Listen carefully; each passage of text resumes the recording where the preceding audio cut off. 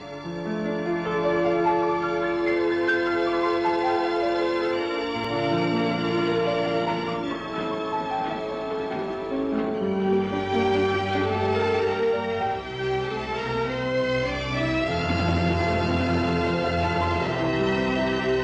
こ行ってたの？おふくろ駅まで送って。それみんな取ってきたの？パチンコで。とあそこの女の子と仲いいんだ。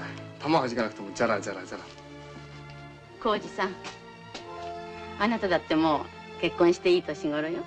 年頃は年頃だけどね。もったいないですね何が？大学出てリアカー引いてるなんて。いけないかね。俺はここがいいんだ。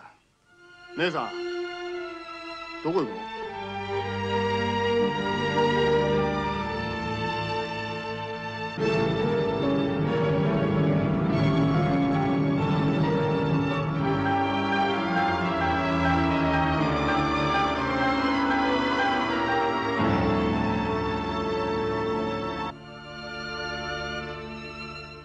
人から何と言われたって僕は平気だ。困るのよそれが。僕は姉さんが好きだ。なぜそれがいけないんです？お紅茶ですか？こうちゃん。いる？玲子さんにだって好き勝手に着る権利があるんだから。この家を出ていくっていうの？あんまり突然でびっくりしちゃったけど。母さん。玲子さんこのうちの犠牲になったのよ一生犠牲になりたくないって言って。んのよ。姉さんはこの家を出て行きたくなんかないんだ。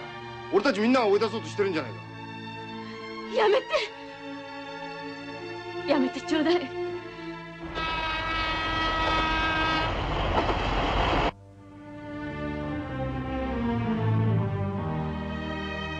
浩二さん。私だって女よ。浩二さんに好きだって言われた時